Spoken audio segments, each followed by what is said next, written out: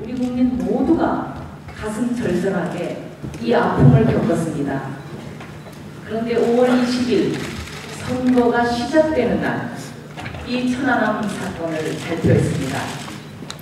저는 이것이 얼마나 오래전부터 철저하게 기획된 선거 개입이고 선거 방해 사격인지를 그 순간 느꼈습니다.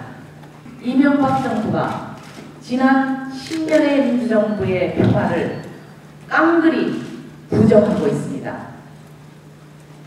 부정할 뿐만이 아니라 대립과 갈등, 전쟁 불사라는 전쟁의 먹거리까지 몰고 오고 있습니다. 민주주의 짓밟고 경제 무능에 평화까지 짓밟고 있습니다.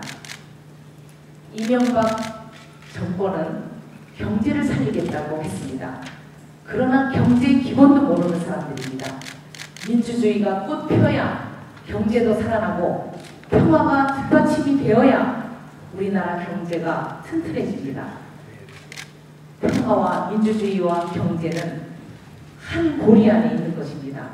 그런데 평- 평화가 무너지고 있습니다. 천안함 사건 선거 악용 중단하라. 중단하라. 중단하라. 중단하라. 해보죠.